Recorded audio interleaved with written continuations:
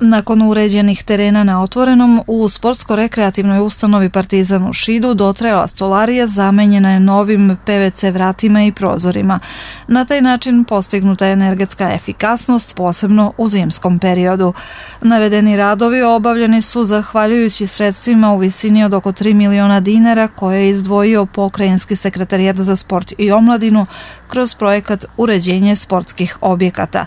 Projekat je sufinansirala opština Šid sredstvima u visini od 341.000 dinara. Obnavljena je sva stolarija, kompletna stolarija, svi prozori, a naročito nam je bio problem ovi veliki prozori u sali jer su jako stari i dotrajali, tako da su i oni zamenjeni. Ukupno 28 prozora je zamenjeno novim savremenim PVC stolarijom koja je, evo kao što vidite, puno i lepše izgleda, a i bit će naravno i ekonomičnije. Urađeno je dosta, naravno uz, uz pomoć opštinske uprave, zamenili smo unutrašnju rasvetu u novom savremenom LED rasvetom, kako unutrašnju, tako i spoljašnju.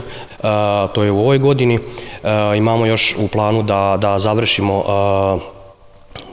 teren za, za tenis koji će biti namenjen najmlađim uzrastima, znači deci. Pored nove stolarije i rasvete, u sali koja služi za sportske aktivnosti dece, omladine i odraslih, postavljene su i martinele.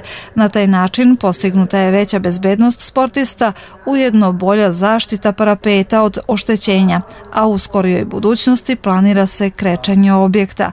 Iako je raspust u toku, sportsko-rekreativna ustanova Partizan u Šidu otvorena je svakodnevno, a već predstojećeg vikenda biće domaćin trodnevne manifestacije Dečije kulturno leto.